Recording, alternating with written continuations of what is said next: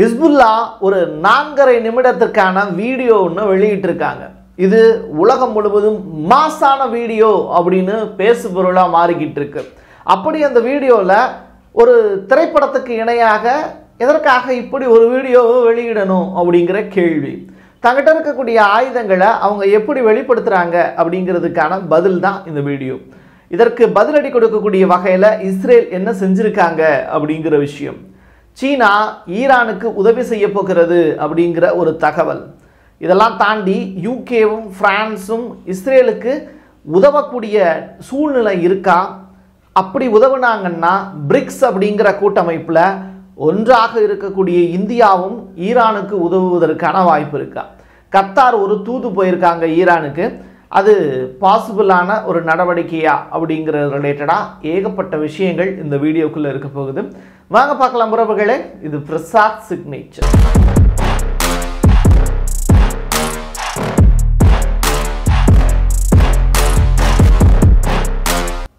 துருக்கியில் பாஸ்போரஸ் அப்படின்னு சொல்லப்படக்கூடிய ஒரு நீர்வழித்தடம். அந்த நீர்வழித்தடம் வந்து ஒரு முப்பது கிலோமீட்டர் நீளமுடையது. அந்த முப்பது கிலோமீட்டர்லையும் இப்போ எப்படி நம்ம சென்னையில் மெரினா கடற்கரை இருக்குது ரொம்ப நீளமான கடற்கரை அப்படிமா ஐ திங்க் ஃபோர்டீன் கிலோமீட்டர்ஸ் நினைக்கிறேன் கடற்கரை மட்டுமே. அது மாதிரி இந்த போஸ்பரஸ் அப்படிங்கிற அந்த நீர்வழித்தடம் அப்படிங்கிறது துருக்கியினுடைய ஒரு மிகப்பெரிய அடையாளம். அந்த அடையாளம் ரொம்ப அற்புதமானது ரொம்ப அழகானது. ஆம், இருக்கக்கூடிய தூரம் அப்படிங்கிறது ரொம்ப கம்மி தான் அது. ஸோ அப்படிப்பட்ட அந்த நீர்வழித்தடத்தில் ஏகப்பட்ட ஹெலிகாப்டர்ஸ் வந்து பறக்க விடுறாங்க. ஏகப்பட்ட போட்ஸ் வந்து மூவ் ஆகிட்டுருக்கு அதை காட்சிப்படுத்தி துருக்கி வந்து ஏதோ ஒரு போருக்கு தயாராகிற மாதிரியான ஒரு சீனை வந்து கிரியேட் பண்ணுறாங்க இந்த வீடியோ வந்து ட்விட்டரில் பயங்கரமாக பேசு பொருளாக மாறிட்டு இருந்தது. இது எதற்காக அப்படின்னு சொல்லிட்டு அடுத்த கட்ட தேடுதலில் ஈடுபடும் போது துருக்கியில் ஒரு பிரம்மாண்டமான ஒரு காட்டு தீ ஏற்பட்டது. ஜுவாலைகள் நெருப்பு ஜுவாலைகளாக அந்த ஒட்டுமொத்த நகரமும் இருந்தது. இதை அணைக்கிறதுக்காக போகிறாங்க போல அப்படின்னு அதுக்கு பிறகு தான் புரிஞ்சுது. ஒரு பெரிய அளவிலான காட்டுத்தீ ஏற்படுவதற்கான காரணம் என்ன? இஸ்ரே இஸ்ரேலுக்கும் ஹமாஸுக்கும் இடையில இப்போ போர் நடந்துக்கிட்டு இருக்கு. துருக்கி வந்து எந்த அளவுக்கு இம்பார்ட்டண்ட்டாக தனது காய்களை நகர்த்தி கொண்டிருக்கிறது அப்படிங்கிற விஷயம். நாட்டோவில் அங்கத்தினராக இருந்தாலும் துருக்கி செய்யக்கூடிய செயல்பாடுகள் அப்படிங்கிறது பாலஸ்தீனத்துக்கு ஆதரவான ஒரு விஷயம். துருக்கிக்கு இந்த காட்டுத்தீங்கிறது மிகப்பெரிய அளவிலான இழப்பை ஏற்படுத்தி இருக்கு அப்படின்னு சொல்கிறாங்க எரியிற தீயில மறுபடியும் எண்ணெய் ஊத்துற மாதிரியான ஒரு சூழ்நிலை துருக்கிக்கு வந்துருச்சு. அதுக்கு இன்னொரு காரணமும் இருக்குது துருக்கியினுடைய பார்லிமெண்ட் அப்படிங்கிறது நிலைத்தன்மை உடையதாக இல்லை. எதிர்க்கட்சி தலைவரை அரெஸ்ட் பண்ணி உள்ளே வச்சிருக்காரு துருக்கியினுடைய அதிபர் எர்டகன். ஸோ எதிர்க்கட்சி தலைவரை அரெஸ்ட் பண்ணி உள்ளே வச்சதன் காரணமாக பார்லிமெண்ட்டு ஒரு மிக முக்கியமான ஸ்பீச் ஒன்று போயிட்டு இருக்குது அப்போது இரண்டு தலைவர்களுக்கு இடையில் சண்டை நடக்குது. எதிர்க்கட்சிக்கும் ஆளுங்கட்சிக்கும் இடையில. அப்போது ரெண்டு பேரும் முட்டி மோதிக்கிறாங்க. ஒருத்தருக்கு ஆதரவாக இன்னொருத்தவங்க வராங்க. அது அவங்களுக்கு ஆதரவாக இன்னொருத்தவங்க வராங்க. இப்படியே பார்த்தீங்கன்னா ஒரு மாப் கலவரமே பார்லிமெண்ட்டில் நடந்துருச்சு. ஸோ துருக்கியினுடைய பார்லிமெண்ட் அப்படிங்கிறது கவலைகரமானது அப்படிங்கிற செய்தி கவலைக்குரிய செய்தி தான் எங்கள் மலைகளே எங்களின் களஞ்சியங்கள் அப்படிங்கிற தலைப்பில் ஒரு நான்கரை நிமிஷத்துக்கான வீடியோ. இன்னைக்கு ஒட்டுமொத்த சோஷியல் மீடியாவையும் ஒரு திரைப்படம் பார்த்த பார்க்க வச்சுருக்காங்க ஹிஸ்புல்லா. ஸோ லெபனானில் இருக்கக்கூடிய ஹிஸ்புல்லா தங்கிட்ட இருக்கக்கூடிய ஆயுதங்களுடைய தரம் எப்படி இருக்குது தன்னுடைய சுரங்கங்களுடைய அமைப்பு எப்படி இருக்குது அதுக்குள்ளே மோட்டார் சைக்கிளை ஓட்டிட்டு போகக்கூடிய வீரனுடைய அணிவகுப்பு எப்படி இருக்குது ஆயுதங்கள் ரெண்டாயிரத்தி ஆறில் இஸ்ரேலோடு நாங்கள் போர் புரிஞ்சோமே. அந்த மாதிரியான ஆயுதங்கள் மட்டுமல்ல இப்போ எங்கள்கிட்ட அதிநவீன டெக்னாலஜி இருக்கக்கூடிய ஆயுதங்கள் இருக்குது வண்டிகளில் வரக்கூடிய வெறுமன வாகனங்கள் அல்ல அது ஆயுதம் தாங்கிய ஏவுகணைகளை சுமந்து வரக்கூடிய உங்களின் அழிவுக்கான திறவுகோள் அப்படின்னு ஹிஸ்புல்லா ஓப்பன் பண்ணக்கூடிய அந்த வீடியோவினுடைய சத்தம் அப்படிங்கிறதும் மியூசிக் அப்படிங்கிறதும் ஒரு முழு நீள திரைப்படத்தை பார்த்து திருப்தி ஏற்படுது. இதெல்லாம் தாண்டி ஹிஸ்புல்லா தனது அந்த வீடியோவை வெளியிடுவதற்கான காரணம் அப்படிங்கிறது. சிரியா வரைக்கும் அவங்களுடைய சுரங்கங்களுடைய நீட்சிங்கிறது எந்த அளவுக்கு இருக்குது அப்படிங்கிறத காட்டுறாங்க. பெக்கா அப்படிங்கிற பள்ளத்தாக்கில் அவங்களுடைய ஆதிக்கம் எந்த அளவுக்கு இருக்குங்கிறத வெட்ட வெளிச்சமாக காட்டுறாங்க. இதுக்கு பேர் ஒன்று வச்சுருக்காங்க. இந்த ஏவுகணைகள் இவங்க வெளியிட்டு இருக்கக்கூடிய வீடியோ அதுக்குள்ளே இருக்கக்கூடிய ஆயுதங்களுக்கு பெயர் வந்து இமாட் ஃபோர் அப்படின்னு பேர் வச்சுருக்காங்க. இந்த இமாட் ஃபோர் அப்படிங்கிறது முக்னியா அப்படிங்கிற ஹிஸ்புல்லாவினுடைய மிக முக்கியமான படை தளபதி. ரெண்டாயிரத்தி எட்டாம் ஆண்டு இஸ்ரேலால் அவர் தாக்கப்பட்டு கொலை செய்யப்பட்ட நிகழ்வு. காருக்குள்ளே வச்சு வெடிகுண்டு வச்சு அவரை கொலை பண்ணிட்டாங்க. அதற்கு பழிவாங்கக்கூடிய வகையில் அவருடைய பெயரை ஆயுதங்களுக்கு சூட்டி இருக்கிறார்கள் ஹிஸ்புல்லா. இது ஒன்று தான் அந்த இடத்துல வந்து பார்க்கும்போது நமக்கு புரிஞ்சுது. மீதி இருக்கக்கூடிய காட்டக்கூடிய இடங்கள் எல்லாமே ஒரு மறைமுகத்தில் ஒரு செட்டு போட்டு எடுக்கப்பட்ட திரைப்படம் மாதிரி இருந்தது. பட் இந்த திரைப்படம் வெற்றி அடையுமா ஹிஸ்புல்லாவுக்கு அப்படிங்கிறத நம்ம பொறுத்திருந்து தான் பார்க்கணும். நபாட்டியா அண்டு வாடி கஃபா இந்த ரெண்டு பேரை ஞாபகம் வச்சுக்கோங்க. இது ரொம்ப ரொம்ப இம்பார்ட்டண்டான ஒரு ஊர்களுடைய பெயர். இது தெற்கு லபான்லானில் இருக்கக்கூடிய மிக முக்கியமான பகுதி. ஹிஸ்புல்லா வீடியோ வெளியிட்டு உலகத்தை ஆச்சரியப்படுத்திக்கிட்டு இருக்கக்கூடிய அந்த நேரத்தில் இஸ்ரேல் வந்து தனது ஆயுதங்களை பயன்படுத்த ஆரம்பிச்சிட்டாங்க. ஏன் அப்படின்னா யார் மேலே அப்படின்னா உங்களுக்கே தெரியும் ஹிஸ்புல்லா மேலே. தொடர்ச்சியாக அவங்க ரெண்டு பேருக்கு இடையில் தாக்குதல் அப்படிங்கிறது நடந்துக்கிட்டு இருக்கு. ஹிஸ்புல்லா சைடில் இருந்து கடந்த நாற்பத்தெட்டு மணி நேரத்தில் மட்டும் முந்நூறு ராக்கெட்டுகளை இஸ்ரேலுடைய வடக்கு பக்கம் ஏவியிருக்காங்க ஸோ பதிலுக்கு இஸ்ரேல் என்ன பண்ணுறாங்க அப்படின்னா அவங்களுடைய தாக்குதலை நடத்துகிறாங்க அப்போ இந்த இரண்டு நகரங்களும் முழுமையாக சேதமடையுது. இஸ்ரேல்கிட்ட அயன்டோம் அப்படிங்கிற ஆயுதம் இருக்குது இடைமறித்து தாக்கக்கூடிய வான்வெளியில் ஒரு ஒரு அழகான போர்வையை கட்டமைச்சிருக்காங்க. பட்டு ஹிஸ்புல்லாவிலேயோ சிரியாவிலேயோ லெபனான்லேயோ அந்த மாதிரியான அயன்டோம் மாதிரியான இடைமறித்து தாக்கக்கூடிய ஆயுதங்கள் அவங்கக்கிட்ட இல்லை. அதனால் வரக்கூடிய ஆயுதங்களை எதிர்கொள்வதற்கு அவங்க தயாராக தான் இருக்கணும். அழிவு அப்படிங்கிறது அவங்களுக்கு நிச்சயமாக இருக்கிறது. பட் இஸ்ரேலை பொறுத்தளவில் அழிவுங்கிறது நூற்றில் ஒன்று ஒரு சதவீதம் கூட இப்போதைக்கு கூட வாய்ப்பு இல்லைங்கிறாங்க அப்படியே அழிவு ஏற்பட்டால் கூட அதை இஸ்ரேலில் இருக்கக்கூடிய மீடியாக்கள் உலகத்திற்கு சொல்வதா இல்லை.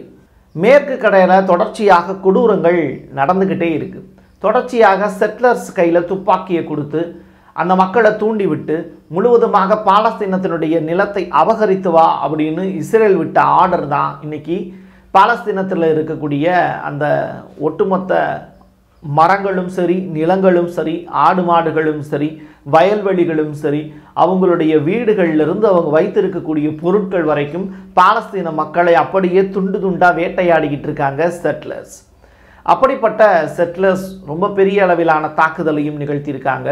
ஒரு வீட்டுக்குள்ள பன்னெண்டு பேர் இருந்தவங்களில் எட்டு பேர் இப்போ உயிரோடு இல்லை. அதுக்கான காரணம் என்ன அப்படின்னா இஸ்ரேல் நடத்தி இருக்கக்கூடிய தாக்குதல். தொடர்ச்சியாக இஸ்ரேலுடைய வன்முறை அப்படிங்கிறது உலகத்துக்கு வெட்ட வெளிச்சமாக சொல்லப்பட்டாலும் பெரிய அளவிலான செய்தி உலகம் முழுவதும் பரவும் போது அந்த நிகழ்வுக்கு நாங்கள் பொறுப்பேற்க முடியாது அப்படின்னு சொல்லி அந்த இடத்துல இருந்து பெட்டைத்தனமாக வெளியேறுகிறது இஸ்ரேல். நீ ஆம்பளையாக இருந்தால் இதைத்தான் நான் செஞ்சேன் அப்படிங்கிறத ஒத்துக்கக்கூடிய தைரியம் கூட இல்லை அப்படின்னா நீ யாருக்கு யா நீ யாருக்கு நியாயமானவன் அப்படிங்கிறதையாவது யோசிச்சு பார்க்கணும். ஒரு விஷயத்தை நம்ம செய்கிறோம் அப்படின்னா இதை நான் தான் செஞ்சேன்னு ஒத்துக்க கூட மனம் இல்லை. தப்பு செஞ்சாலும் சரியாக செஞ்சாலும். அப்படிப்பட்ட ஒரு வீரமான ஆண்மகனுக்கு பிறந்திருக்கக்கூடிய இஸ்ரேலில் இருக்கக்கூடிய யூதர்கள் யாராவது இருந்தால் முன்னுக்கு வரவும். ஏன்னா மேற்கு கரையில் இறந்து போனவங்க ஆண்கள் மட்டுமல்ல பெண்களும் குழந்தைகளும் கூட இருக்காங்க. தொடர்ச்சியாக இஸ்ரேல் நடக்கக்கூடிய அந்த அத்துமீறல்களுக்கு முடிவு கட்டுவார் யாரும் இல்லை. இதனால் ஈரான் அட்டாக் பண்ணுமா இஸ்ரேலை அப்படிங்கிற பெருத்த கேள்விகள் இருக்குது அதுக்காக சீனா அவங்களுக்கு உதவி செய்ய போகிறாங்க அப்படிங்கிற தகவலும் கிடச்சிருக்கு. சீனா சைடில் இருந்து இரண்டு செயற்கைக்கோள்களுடைய தொழில்நுட்ப உதவியை ஈரானுக்கு கொடுக்க போகிறாங்க அப்படிங்கிற தகவல். ஸோ சீனா வரிந்து கட்டிக்கொண்டு ஈரானுக்கு உதவி செய்ய முன் வந்திருக்கிறது இதை ஈரான் ஏற்றுக்கிட்டு அடுத்த கட்ட நடவடிக்கையில் இறங்கணும் அப்படிங்கிற பெரிய எதிர்பார்ப்பு எல்லார் மேலேயும் இருக்குது ஏன் அமெரிக்கா கூட தொடர்ச்சியாக சொல்லிக்கிட்டு இருக்காங்க? கெர்பி முதற்கொண்டு ஈரான் நிச்சயமாக தாக்கும் தாக்கக்கூடிய நாள் என்ன அப்படிங்கிறது தெரியல. ஏன்னா ஈரான் சொல்லக்கூடிய விஷயம் நான் என்ன படமாடா எடுக்கிறேன்? ரிலீசிங் டேட் என்னன்னு சொல்கிறதுக்கு நடத்துறது போடுறா இங்கே நடக்கிறது வந்து வடகொரியாட்ட இருந்து ஆயுதம் வரணும் ரஷ்யாட்ட இருந்து ஆயுதம் வரணும் வர்றது ட்ரெயினில் வரணும் கப்பலில் வரணும் விமானங்களில் வரணும். இது எல்லாம் வந்ததுக்கு பிறகு எல்லாத்தையும் லான்ச் பண்ணி வச்சுட்டு தான் தயார்படுத்திட்டு தான் நான் வந்து குண்டை போட முடியும். நான் வந்து என்கிட்ட ஆயுதம் இருக்குது அப்படிங்கிறதுனால நான் போற தொடங்கிட்டேன் அப்படின்னு சொல்லி எல்லாத்தையும் நான் கொண்டு வந்து இங்கே வைக்கிறதுக்குள்ளே ஒரே ஒரு அட்டாக்கை மட்டும் நடத்தி முடிச்சுட்டு அப்படியே உக்காந்துடலாமா முடியாது. அப்போ எதிர்த்தாப்பில் இருக்கிறவன் என்னை தாக்கி கொண்டுருவான் அப்போ எல்லாத்தையும் இங்கே செட் பண்ணிட்டு தான் நான் அட்டாக்கே தொடங்க முடியும். அதுக்குள்ளே நீங்கள் வாட்டுக்கு இஷ்டத்துக்கு படத்துக்கான ரிலீசிங் டேட் என்னன்னு சொல்லுங்கப்பா சொல்லுங்கப்பான்னு எல்லாரும் போட்டு நச்சரிச்சா ஈரான் பாவம் என்ன பண்ணுவாங்க? அப்படிங்கிறத தான் சொல்ல வேண்டிய தேவை இருக்குது இதெல்லாம் பார்த்துக்கிட்டு இருக்கக்கூடிய இஸ்ரேலிய மக்கள் ஒரு இரண்டு நாட்கள் வந்து வீட்டுக்குள்ளேயே முடங்கி கிடந்தாங்க. இரவு நேரத்தில் பயந்து போய் பங்கஸ்குள்ளே ஒளிஞ்சு கிடந்தாங்க. இதெல்லாம் அவங்கள பற்றி நம்ம சொன்ன விஷயங்கள். இப்போது அதே இஸ்ரேல் என்ன செய்கிறாங்கன்னா நீச்சல் குளங்களை தேடி போய் என்ஜாய் பண்ண ஆரம்பிச்சிட்டாங்க. மார்னிங் வந்து சன்பாத் எடுக்கிறாங்க ஈவினிங் வாக்கிங் போகிறாங்க பகல் நேரங்களில் முழுக்க முழுக்க பீச்சிலேயே வந்து உணவு சமைத்து சாப்பிட்டு கொண்டு மகிழ்ச்சியாக தனது நேரத்தை கழித்து கொண்டிருக்கிறார்கள் அப்படிங்கிற செய்தி தான் அங்கிருந்து கிடைக்கக்கூடிய ஃபோட்டோஸ் மூலிமா நம்மளால் பார்த்து உணர முடியுது. இஸ்ரேலியுடைய ஃபாரின் மினிஸ்டர் டைரக்டாக யூகே அண்ட் ஃப்ரான்ஸ் ட்ரிப் அடித்து அங்கே இருக்கக்கூடிய மிக முக்கியமான தலைவர்களையும் சந்திச்சிருக்காங்க. அங்கே இருக்கக்கூடிய ஃபாரின் மினிஸ்டரை சந்திச்சிருக்காங்க. ஃப்ரான்ஸ் இப்போ தான் ஒலிம்பிக்கை முடிச்சுட்டு ஃப்ரீயாக இருக்குது ஸோ ஃப்ரான்ஸினுடைய அதிபர் இம்மானுவேல் மேக்ரானையும் சந்தித்து பேசியிருக்காங்க. யூகே சைட்லையும் இப்போ தொழிலாளர் கட்சி அங்கே இருக்கக்கூடிய ரியாட்ஸ் பெரிய அளவிலான போராட்டங்கள் அணிவகுப்பு பேரணிலாம் நடத்திக்கிட்டு இருக்காங்க. இருந்தாலும் ஆறாயிரம் போலீசாருடைய துணையோடு யூகே நிலைமையை சமாளித்து கொண்டு அங்கே இருக்கக்கூடிய மக்களை அமைதிப்படுத்தக்கூடிய வேலையை செஞ்சுக்கிட்டு இருக்கு. யூகே சைட்லேருந்து இஸ்ரேலுக்கு ஃபண்டு கொடுக்கறது கம்மியாக இருந்தாலும் தொடர்ச்சியாக அவங்களுக்கு கொடுக்கக்கூடிய ஆதரவை நாங்கள் தொடர்ந்து கொடுத்து கொண்டே இருப்போம்னு சொல்லிட்டாங்க. பிரான்ஸ் சைடில் இருந்து அவங்களுடைய நிலைப்பாடு ரொம்ப தெளிவாக தான் இருக்குது இஸ்ரேலுக்கு நாங்கள் ஆதரவை கொடுக்குறோம். அப்போ இந்த ரெண்டு நாடுகளும் இம்ம இஸ்ரேல் சைட்லேருந்து வைக்கக்கூடிய ரெக்வஸ்ட் என்னென்னா ஈரான் எங்கள் மீது போர் தொடுத்தது அப்படின்னா எங்களுடைய நட்பு நாடான நீங்கள் களமிறங்கி எங்களுக்காக தாக்குதல் நடத்த வேண்டும் அப்படிங்கிறத. இதை யூகேவும் சரி ஃப்ரான்ஸும் சரி ஏற்றுக்குச்சு அப்படிங்கிற தகவலும் வெளியாயிருக்கு இவ்வளோ பிரச்சனை நடந்துக்கிட்டு இருக்கும்போது அமெரிக்கா தொடர்ச்சியாக ஈரானை ஒரு சைடு எச்சரிக்குது ஒரு சைடு ரெக்வஸ்ட் கொடுக்குது. ஒரு சைடு பயமுறுத்தியும் பார்க்குது. இன்னொரு புறம் என்ன அப்படின்னா கத்தாருடைய எமிர் மூலியமாக ஈரானுக்கு தூது அனுப்புது. ஈரான் அமைதி பேச்சுவார்த்தையில் ஈடுபடுறதுக்கு தயாராக இருங்க. நாங்கள் வந்து பேச்சுவார்த்தை நடத்தி இஸ்ரேலுக்கும் உங்களுக்குமான பஞ்சாயத்தை முடிச்சு வைக்கிறோம். என்ன டீலோ அதுக்கான சொல்லுங்கள் சமரசம் பண்ணிக்குவோம் அப்படிங்கிறதையும் சொல்லியிருக்காங்க. இழப்பு வந்து உங்களுக்கு தான் அதிகமாக இருக்கும் அப்படிங்கிறதையும் எச்சரிக்கை விடுத்திருக்காங்க. இதெல்லாம் தாண்டி ஈரான் வந்து கத்தாருடைய எமிர் விடுத்த அழைப்பை வந்து புறந்தள்ளியிருக்கு. மாறாக சீனாவிடமிருந்தும் ரஷ்யாவிடமிருந்தும் வடகொரியாவிடமிருந்தும் ஆயுதங்களை வாங்கக்கூடிய முயற்சியில் ஈடுபடுறாங்க. இப்போது முக்கியமான விஷயம் என்னென்னா யூகே ஃப்ரான்ஸ்கிட்ட எப்படி வந்து இஸ்ரேல் உதவி கேட்குதோ அமெரிக்கா ஏற்கனவே உதவி பண்ணிக்கிட்டு தான் இருக்காங்க. அதே மாதிரி ஈரான் பிரிக்ஸ் கூட்டமைப்பில் ஒரு மிக முக்கியமான ஒரு நாடு. பிரிக்ஸுங்கிறது இந்த ஐந்து நாடுகள் ஒன்றாக சேர்ந்திருக்கக்கூடிய அமைப்பு.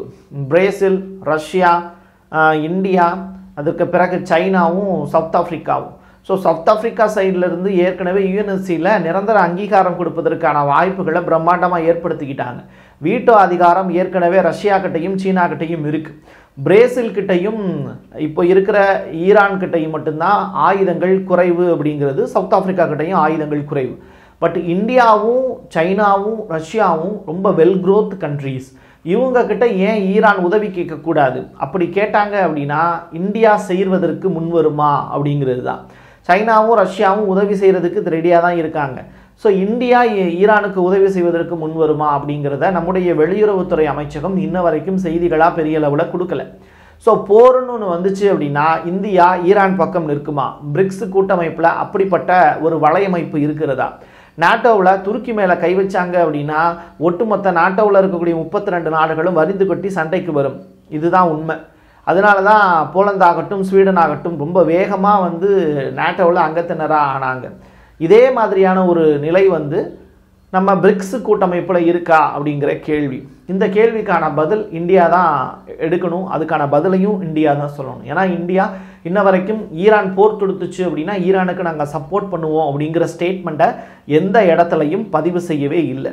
ஸோ ஈரானுடைய பதிலுக்காக இந்தியாவினுடைய பதிலுக்காக ஈரான் காத்து கொண்டிருக்கிறது அப்படிங்கிறது தான் யதார்த்தமான உண்மை. அடுத்தடுத்து கிடைக்கக்கூடிய தகவல்களோட மீண்டும் உங்களை தொடர்பு கொள்கிறேன். என் கையெழுத்து என் மக்களுக்கானது. மீண்டும் ஒரு பதிவில் சந்திக்கலாம் உறவுகளே. நன்றி வணக்கம்.